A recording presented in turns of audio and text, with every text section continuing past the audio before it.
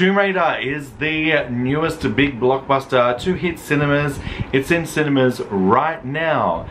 Here's my review for NovaStream Network. I'm Alaisdair Lee. So Tomb Raider is the newest reboot of Lara Croft, the character that took the 90s by storm.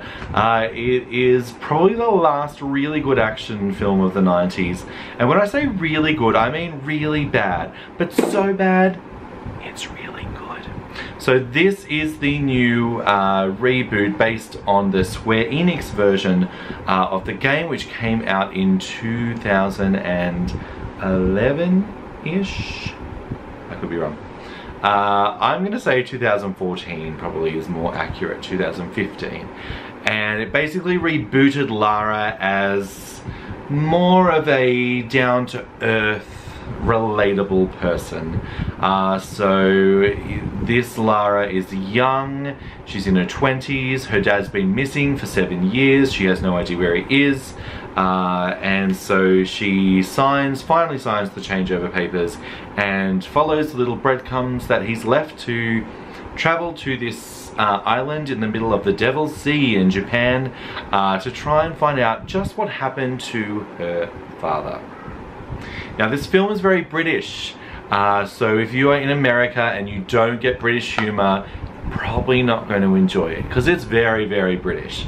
Uh, it's very fun, it's very funny, the action scenes are pretty intense.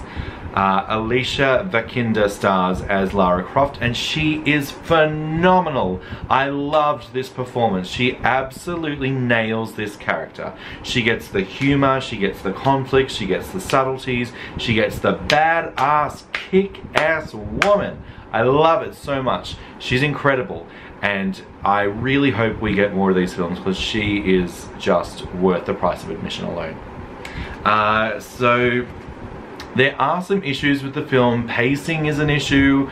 Uh, it starts off like you're really into it and then she gets to the island and it kind of slows and I'm like, why are we slowing down?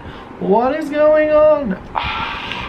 but by the third act, it ramps it right up for a finale that surprised and impressed me.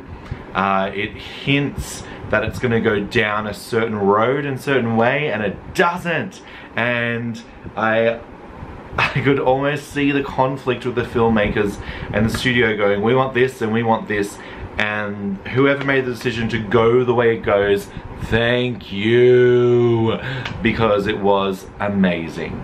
Now, I went in with a very low expectation of this film. Uh, I enjoyed the first two and I wasn't sure how a gritty reboot would translate with today's audiences, especially in wake of films like Wonder Woman and Black Panther.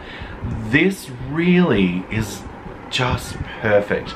The action is great, the hero is admirable, and you really root for Lara. You really want her to succeed and become the amazing Lara Croft uh, that we know from video games and pop culture for the last uh, 15 or 20 years, however long it's been. 25 actually, I think I read. 25 years, sorry Lara Croft. One thing I did want to say though is, continually throughout the film, I had to remind myself that she's not a superhero. So there were times when she was falling and getting hurt and fumbling and I'm like, what are you doing? She's not a superhero. So she can't just self-heal or deflect bullets or anything like that. She's a human being. And she, like we see an MMA fighter boxing thing at the start, and that kind of tells you this is the extent of her skills. Uh, so I think they did a really good job uh, purveying that. I was definitely, there was a moment in her first kill where it's long and drawn out and she's upset and you can really see the weight that this has on her and I, I enjoyed that touch I'm so glad it was there and very appreciative to the filmmakers for putting that in because it made her feel real and very relatable. I don't think it's going to score any new fans so if you haven't seen the old ones, you haven't played the games, you're not a fan, you might just enjoy it. You're probably going to pick it apart and see a lot of more flaws. Uh, but if you are a fan of the series and you are a fan of Lara Croft, you are going to love this film. There are so many scenes where I was like, bam, straight out of the game, bam, straight out of the game. But not Assassin's Creed straight out of the game where it doesn't make sense and you're like, well, why are they doing this?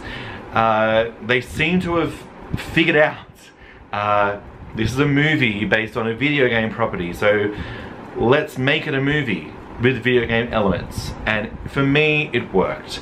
Uh, I love this movie. I'm going to give it a 4 out of 5 stars. Uh, it is in cinemas right now, so make sure you head out and see it. Take your friends. Um, it's definitely worth the price of admission. Now I know what you're thinking, what is happening behind you? It is a WIP, folks. I have so many posters, I have so many collectibles. I'm still trying to arrange it in a way that I like and that looks great on the camera. So this is the best lighting, lighting setup I have now. So please stick with me, it is gonna get better. Um, but as always, make sure you read Jay's review on our website, novastreamnetwork.com. Check his written review out. It's quite fairly a bit different from mine. Uh, but for all of your Tomb Raider movie, gaming, TV, entertainment news, make sure you keep it locked on our social media pages. So Facebook, Instagram, Twitter, hit us up, NovaStream AU.